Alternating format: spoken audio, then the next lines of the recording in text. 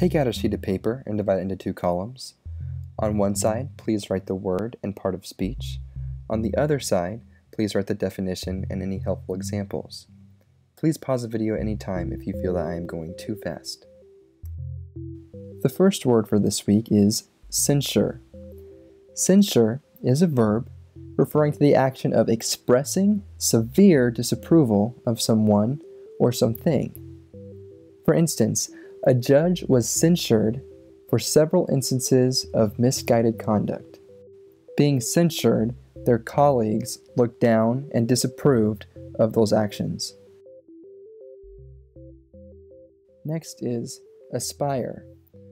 Aspire is a verb referring to the action of directing one's hopes or ambitions toward achieving something, whether that something is a goal or an objective. Aspire is not to be confused with inspire, although it is very easy to become inspired and then aspire to be like that individual. For instance, when you lead by example, other people will aspire to be like you.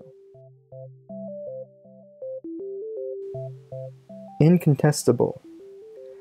Incontestable is an adjective describing that which cannot be argued or that which is emphatically true.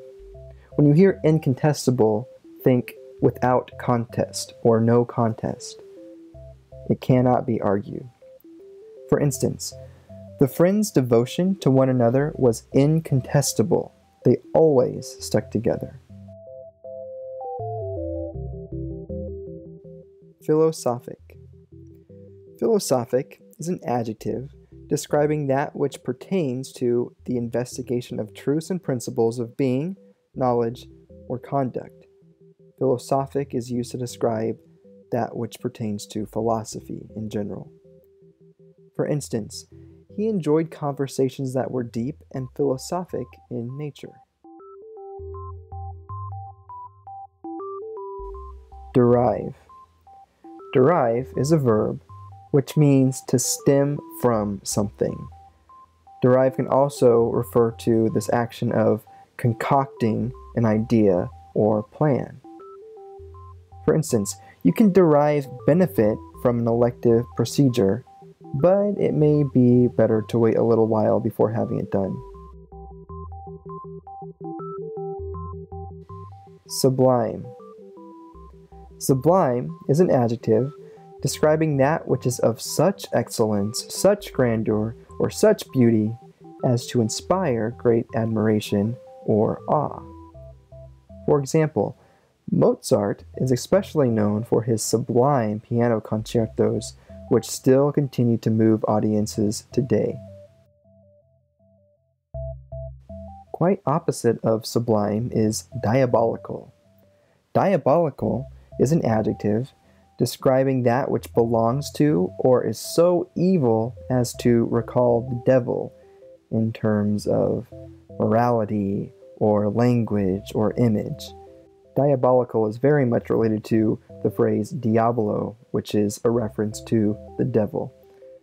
For instance, his diabolical plan to hide the truth backfired and he ended up having to be honest after all. Measured.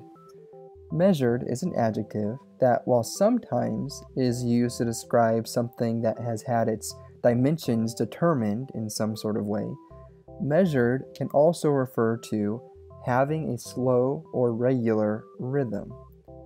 Think of measured as a measure of music. There is a beat, there is a rhythm. For instance, the valedictorian, preparing to make his speech, walked with confident, measured steps toward the podium. Immutable. Immutable is an adjective describing that which is unchanging over time or is simply unable to be changed. For instance, one immutable fact of life is if it can happen, it will happen. Next is memoir. A memoir is a noun referring to an historical account or biography written from personal knowledge. A memoir is very similar to an autobiography, but think of memoir more so as an excerpt of that long autobiography. A memoir is more about the moment in someone's life rather than the whole entirety of someone's life being recorded. For instance, in 1924, she published a short memoir of her husband and his illustrious career. Taste. Taste is a noun that, more than just the sense itself, refers to a person's liking of something in particular. For instance, this dulce de leche pudding is too sweet for my taste, as I prefer milder flavors. Authentic. Authentic is an adjective describing that which has been proven to be true or proven to be genuine. For instance, the vase the collector believed to be authentic turned out, unfortunately, to be a fake. Esteemed. Esteemed is an adjective describing someone or something that is respected or admired. For example, the hard-working, conscientious young woman embodied many of the qualities that are esteemed by managers. Felicity. Felicity is a noun referring to the feeling of intense happiness. For example, the couple hope to live in domestic felicity for the rest of their lives. And finally, recourse. Recourse is a noun referring to a source of help in a difficult situation. For instance, if her health does not improve soon, surgery may be the only recourse.